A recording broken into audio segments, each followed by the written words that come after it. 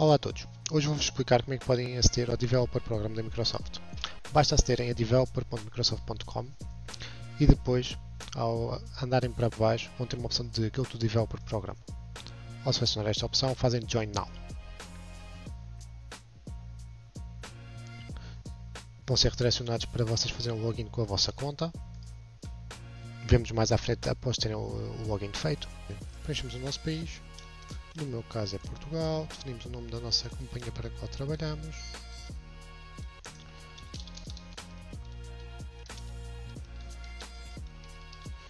E selecionamos a nossa, a nossa língua de preferência. Eu prefiro no meu caso inglês. Fazemos Accept e depois Next. E dizem que querem para que é que pretende este Developer Program.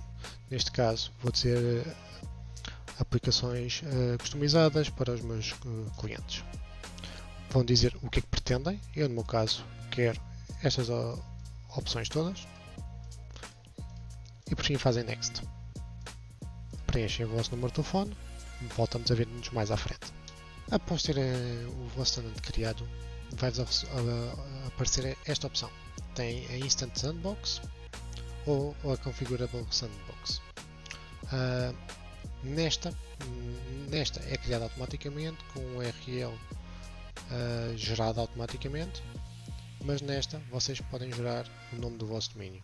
Assim sendo, eu, para o meu caso em concreto, vou preferir esta. Fazem Next, seleciono o país, vou criar um username, fazendo o setup e esta ação uh, irá ser criado o nosso ambiente. Vemos assim que o ambiente estiver criado.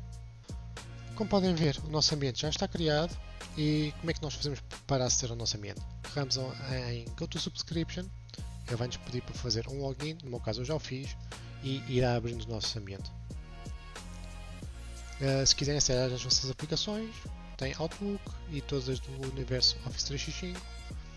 Podem aceder, por exemplo, a um Power Automate, uh, umas Power Apps, Teams, SharePoint, o que quiserem. Neste momento tem o vosso Developer Program criado e podem fazer começar a partir de agora a fazer as vossas aplicações. Divirtam-se e vemos no próximo episódio. Obrigado!